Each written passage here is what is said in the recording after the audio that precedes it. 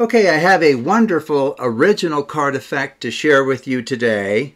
And in the process of doing so, I'm introducing you to the most important sequence in all of mathematical card magic. It's called the 2A Morse sequence. And it is also referred to as the fair share sequence in the sense of having a list of items that two individuals can choose from. So, what is the fairest way for them to take turns making their selections? Well, that's what the Thue-Morse sequence is.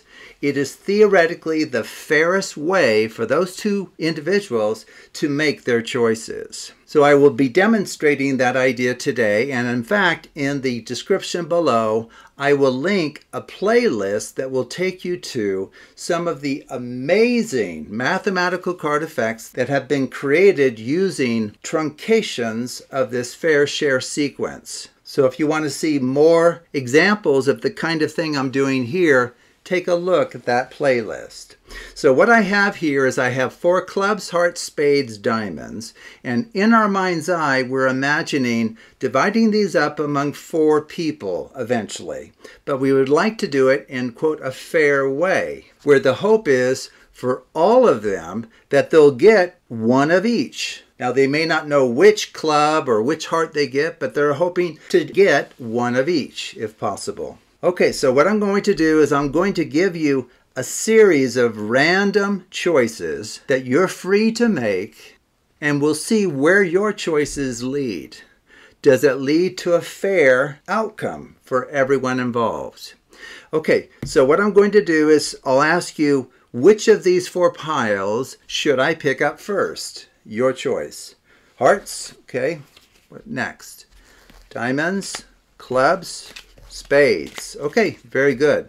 So what we're going to do is we're going to deal them out into uh, four piles. Kind of, we can even go like this if you like. four piles of four cards each. And I'm going to have you tell me how to stack these. Which one should I pick up first? Top right, bottom left, top left, bottom right. Okay, very good. Now I'm going to perform something called the Charlier Shuffle. And if you haven't seen this before, I'll add a link in the description below. It's a great one to learn, actually. It's very convincing, and it's equivalent to just an ordinary packet cut. And in fact, I would like you to freely cut the cards and complete the cut. Okay, very good. Now I'm going to deal out cards to the table until you tell me to stop. Now we're shooting for about half of the cards so that we can mix these well. So I have two, three, four. I'll keep dealing until you say stop. Stop there? Want one more or one less? One more? Okay, that's fine. Okay, and now what I'm going to do is I'm going to do what's called a rosette shuffle. This is where you spin the cards and then you just bring them together however they you know, kind of choose to interlace, you can get in there and help me. Okay, so that's called a rosette shuffle. Okay, it's equivalent to a riffle shuffle, by the way. And then from there, I'm going to deal out just half the cards, three, four, five, six, seven, eight. Drop the other half over here. And then this is where we're going to now use the fair share sequence. Because what I'm going to do, if you just watch, it's not too hard to remember. I'm going to deal out into a triangle clockwise like this. I started dealing here and I went clockwise. And then you just stack in opposite order, counterclockwise, okay, for that one. We'll do the same thing here. So technically this is where we're invoking the fair share sequence. We're using the information in that sequence to arrange these cards. Well, how does that help us? Well, it happens that this fair share sequence will put the cards in an order that's virtually impossible to destroy by way of any of the common systematic mixing procedures used today. So for example, for this one here, I can offer you hundreds of ways of mixing it where, where, you make the choices of how many times to perform the certain mixing procedure or the stacking order or whatever. So why don't we mix maybe just using a, fairly common uh, mixing procedure, just a left-right shuffle with random stacking decided by you. How would you like these stacked? Right on left? Okay, would you like to do any more of those? Just one more? Okay. One more. You want left on right or right on left? Right on left again. Okay. Another one that's systematic in nature is called the Klondike Shuffle. This is where you take the top and bottom cards off as one. Okay. So how many more of those would you like me to perform? It is a free choice. Two more? Okay, very good. Now, a note to you as the performer, the spectator can ask for any number of these. They truly, truly can. You can do none of them, two of them, 50 of them if you have the time. Okay. Hopefully I did all the ones you asked. if not, I apologize. We could have done more. Um, now for this one here, why don't we mix it completely differently? What I'm going to do is I'm going to do the Monge over, under, over, under, over, under, over. How many more of those would you like me to perform?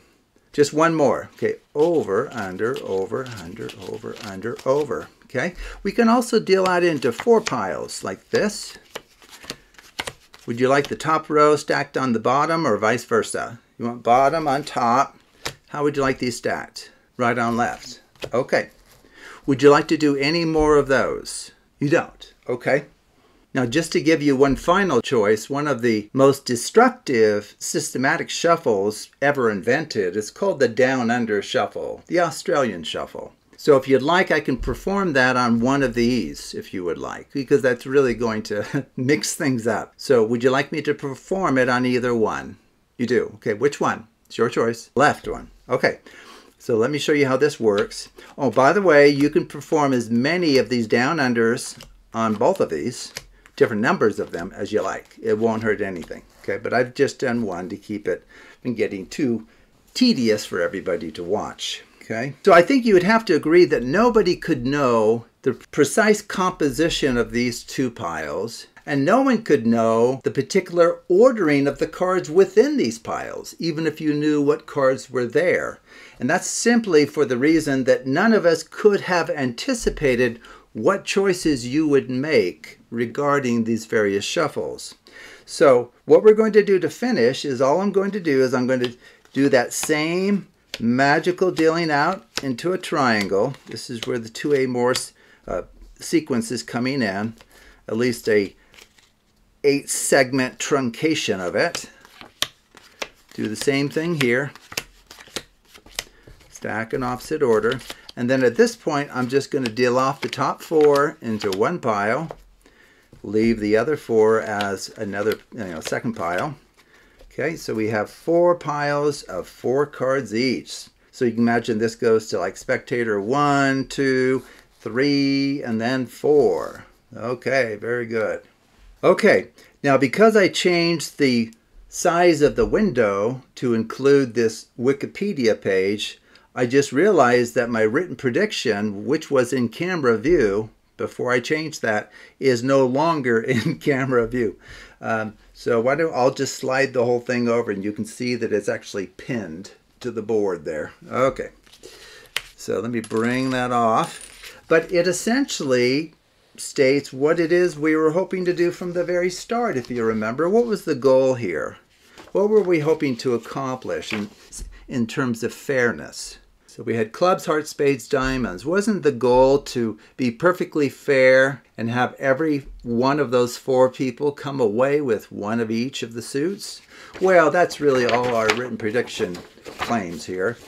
Um, now, we don't know if it's true or not, but each set of four cards will consist of exactly one club, heart, spade, and diamond. Okay, I don't know what you think the chances of that are, but considering all of the mixing that was controlled by you, I think the chances would have to be very, very small. So let's just take a look. So this is like spectator one. Did they receive one of each suit? That was kind of the hope. Club, heart, spade, diamond. Yes, they did. Okay, they're walking away pretty happy. What about spectator? I guess that's two. Spectator three. Club, heart, spade, diamond. Yes, they're happy too. Spectator two. Club, heart, spade, diamond is looking very, very good in, in the sense of fairness. Club, heart, spade, diamond. yeah, we nailed it. Okay, well, if you do everything that I did, this will work for you every time.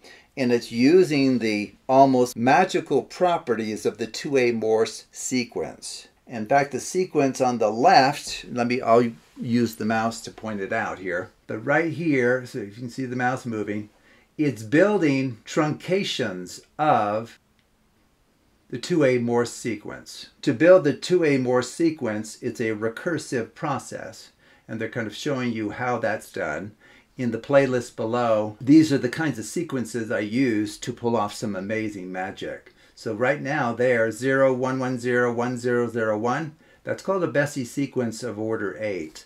And it's the very sort of thing that I've actually took advantage of here to pull off this particular card effect, along with something called the Gilbreath principle and I can add a link in the description below. That's when we dealt out a certain number of the cards and we performed a rosette shuffle. You remember that and brought those together? That was the Gilbreath principle using at that point in the routine. And then after that, we're using these segments of the Thue-Morse sequence to ramp up the magic even higher. Okay, well thank you for watching and take a look at other videos on the Absolute Math Magic channel.